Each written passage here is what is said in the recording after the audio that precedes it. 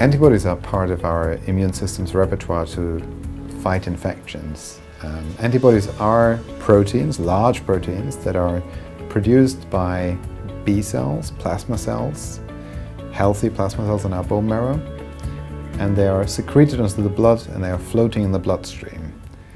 They're kind of waiting there for organisms like bacteria to come in and then they are labeling them for destruction.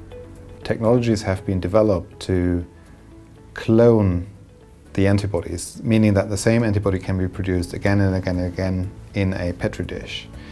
And even newer technologies have been implemented to change these antibodies so that they attack a very specific protein, for example, on the surface of a cancer cell or on the surface of a myeloma cell.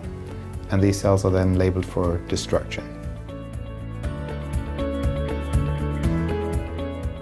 There's already a number of monoclonal antibodies in later stages of development. There are the two most prominent antibodies at the moment called Darzalex, daratumumab, and this is targeting a surface protein called CD38.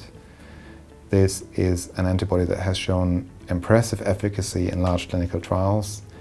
Another antibody that is already being explored in late stage clinical trials is called Empliciti or elotuzumab. Again, Empliciti has also shown efficacy in large clinical trials.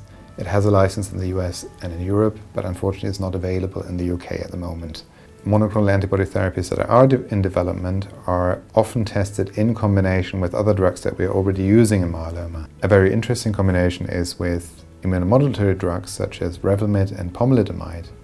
These drugs are already known to activate the immune system uh, to a certain stage, so that if they're combined with monoclonal antibodies, the response against the myeloma cells can be enhanced.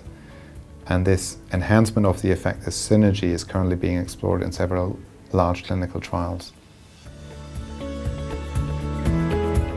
Monoclonal antibody therapies are a very elegant method because they are attacking a very specific marker on the surface of cells. Now, there are different markers that can be attacked, so one line of development is to actually explore different surface markers on the myeloma cells or combinations of those to see which is most efficacious to target.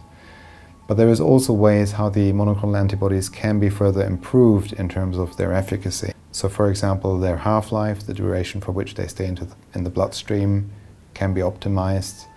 They can be labeled with um, certain toxins, meaning that they attract a toxic substance just to the myeloma cell, to no other healthy tissue in the body, and by that way kill it more effectively. And there is even a new generation of monoclonal antibodies that um, does something very clever in that it targets the myeloma cell, and on the other hand, on the other end of the antibody, it attracts another immune cell, a T cell, which then again more effectively kills the myeloma cell and potentially even remembers features of that myeloma cell to go and kill other myeloma cells. Fortunately, most of the monoclonal antibody therapies have a very favorable side effect profile, meaning there's very few side effects. Because they're so specific, they are very likely to develop into a key tool in our toolbox for treating myeloma.